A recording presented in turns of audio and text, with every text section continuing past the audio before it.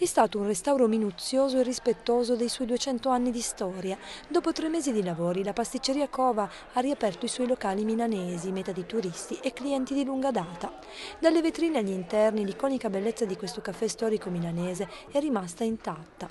Le calde tonalità dell'oro del mogano si alternano ai velluti blu e agli specchi alle pareti. I colori primaverili delle confezioni pasquali occhieggiano delle vetrine tra via Monte Napoleone e via Sant'Andrea. Il bancone mogano lucido e marmo italiano continua ad accogliere i clienti all'ingresso. Ci siamo ritrovati sempre stesso, nella stessa casa proprio e abbiamo riaperto la porta eh, solo un po' più freschi e ripuliti, mi piace dire. È stato un, uh, un bellissimo progetto dove eh, l'obiettivo era conservare, quindi questo è stato un po' il leitmotiv di tutti questi tre mesi e fino fino proprio abbiamo ripreso tutti i dettagli, tutte eh, le particolarità che c'erano le abbiamo veramente solo ripulite. Paola Faccioli, il CEO di Cova, è entusiasta di quello che chiama il refresh della pasticceria, nata nel 1817 all'angolo tra Via Verdi e Piazza della Scala e trasferita poi nel 1950 nell'attuale sede.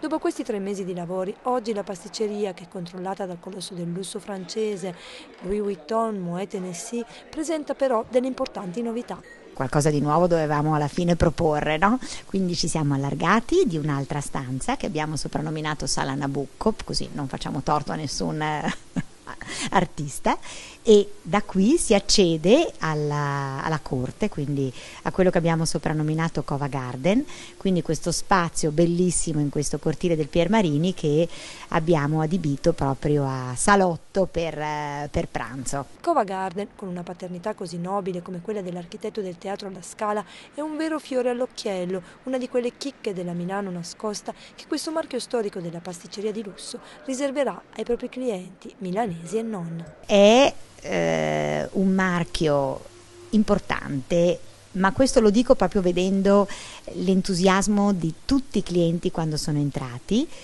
proprio perché secondo me conserva tutta la, la tradizione che è, è tutta italiana, insomma. E detto questo siamo pronti per altri 200 anni.